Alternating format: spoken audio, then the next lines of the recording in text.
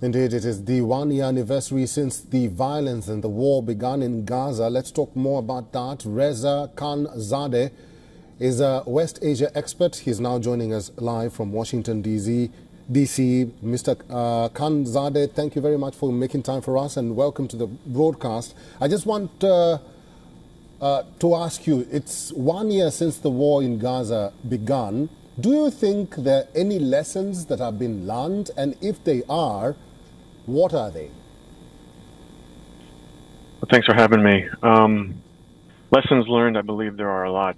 Uh, to go through them, I think, would take up too much of our time on this program. But I think the most important lesson uh, has been shown that Israel uh, does not have the support like it used to on the world stage, uh, with the exception of the United States and perhaps a handful of other Western countries uh, the vast majority of the world has seen what Israel is capable of and the extent to which they're willing to go to reach their objective, which in the case of Gaza and West Bank, and now we're looking at Lebanon, is essentially genocide. They're willing to exercise military strength as well as starvation tactics and really any means at their disposal to try to eradicate um, what they say is Hamas and Hezbollah. But if you if you look at many of the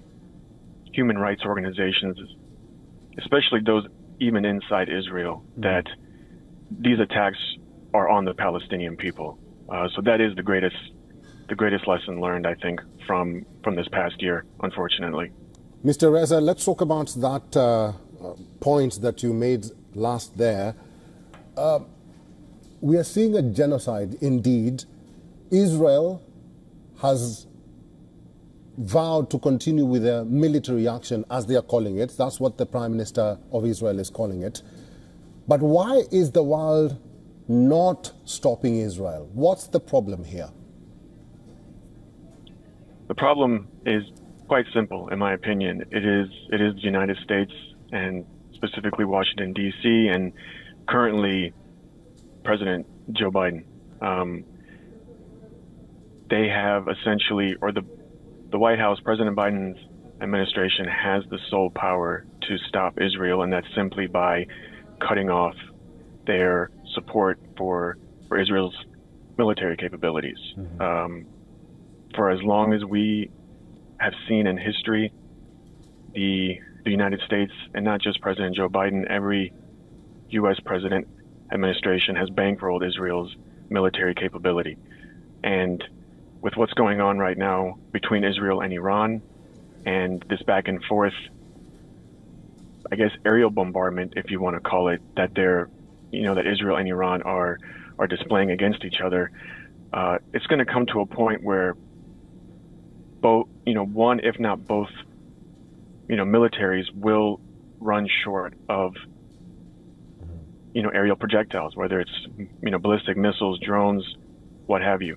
Um, and at that point, Israel will turn, you know, will turn to Washington D.C. for more bombs and you know more military capability, and that's the point when hopefully Washington D.C. can say, we may give you more, you know, weapons, but it will come with stipulations. Because at this point, there's been no stipulations. It's been a blank check. Washington D.C. has turned a blind eye to what to what you know you know what's been going on. Um, so unfortunately, the world can can do so much, but at the end of the day, it is it is Washington D.C. who can who can stop Israel.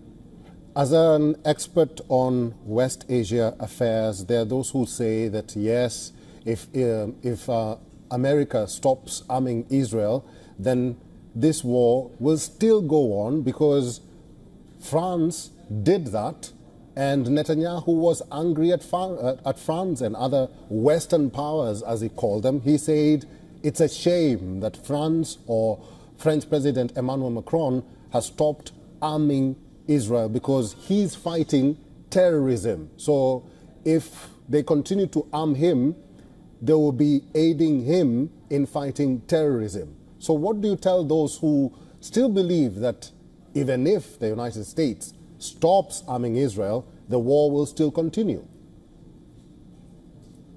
the war most likely will continue, uh, but the shape in which that it will continue will change. Mm. We've seen how precise Israel's military, particularly the IDF, has been when it comes to assassinations, especially with Iran.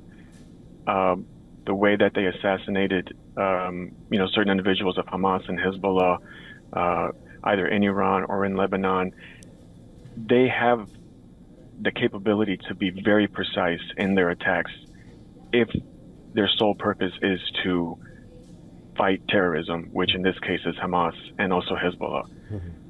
But the capabilities they have up to this point has been, like I said, a complete blank check where they can use any type of military that they want, any type of you know arsenal that they want, and it's essentially just dropping bombs indiscriminately on homes, hospitals, um, safe zones, um, migration camps, and if we're able to put a stop to that, to where there's a specific type of military capability that they can use on specific targets, mm. to where it's more targeted and more more focused, then we'll see less human casualties, less deaths of children, senior citizens, and women, and more of a of a you know coordinated attack against Hamas and Hezbollah.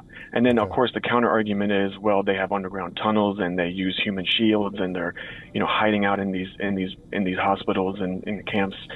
That that to a certain point may be true, but after one year, it seems to be more of a talking point from the Israeli government rather than a military strategy because even military experts inside and outside of Israel have pointed to the fact that there are other ways in which you can fight terrorism you know, with those two being Hamas and Hezbollah without having this massive 40,000 plus human casualty.